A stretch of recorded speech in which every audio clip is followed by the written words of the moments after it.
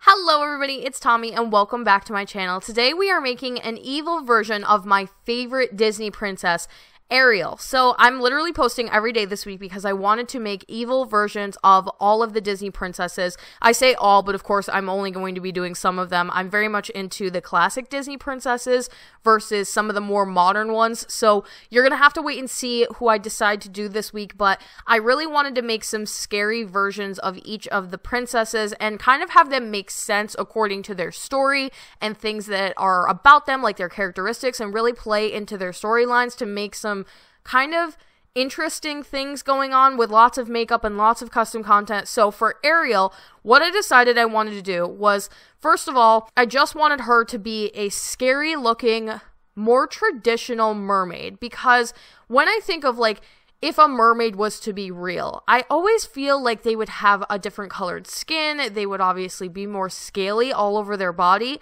And I just feel like they would be a little bit scary looking just because if you think about like fish and fish that live in deep parts of the ocean, they are very scary looking because they don't need normal things that obviously humans need or obviously like creatures who live on land need. And so things that live deep in the ocean tend to be a little bit frightening. And if you don't believe me, look up an anglerfish. That's one of the fish that I think of whenever I think of like things that live deep in the ocean. You might know the anglerfish from Finding Nemo. It's the one that Marlin and Dory run into that has the little light hanging over its head. They are absolutely terrifying and they live in the deepest parts of the ocean. So I always think to myself, if a mermaid would be real, I think that they would be a little bit more on that side.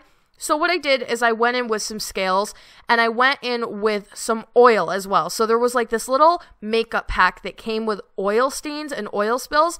And I thought that that was a neat concept because obviously we have a really big issue in the world of just polluting our oceans and polluting our water. So I thought of this storyline where Ariel became kind of angry and evil because she was sick of humans dumping waste and oil into the ocean. And so she wanted to take revenge and became kind of like a serial killer. So She's got oil stains all over her. I did kind of an off green skin tone because I thought that that was a little bit more appropriate, especially because we know that traditionally Ariel has green fins and a purple top. And then I went with the classic red hair and the classic blue eyes because I did still want it to resemble her. And obviously, like this whole week, whoever I do, I want you to still be able to look at them and say that looks like blank princess or that looks like blank character because it still should look like them, I feel like so I went with the classic red hair, but I did darken it a little bit more than I did in my previous video where I made the traditional version of her.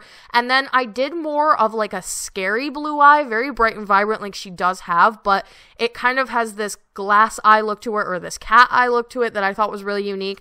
And I gave her this full body dress that is obviously fish scales and I thought it was really really pretty and unique and it kind of just something neat and scary for her to have. And then I was kind of feeling like there was something a little bit lackluster about her. Like she just wasn't totally there in the scary department. Like she wasn't at that next level yet. So I decided to throw tons of blood all over her arms, up her arms, and onto her chest area with lots of scratches and stuff because I wanted it to look like maybe she had just recently killed something or she got in a lot of fights or, you know, she's not afraid to throw hands, something like that. So that is my evil Ariel. Let me know what you think. She is available for download on the gallery under my origin ID. Alleged simmer. Let me know who you would like to see next, and thank you guys all so much for watching. Don't forget to like and subscribe. Hit that little bell icon below to turn on post notifications so you can get updated every single time I post, and I will talk to you all in the next one.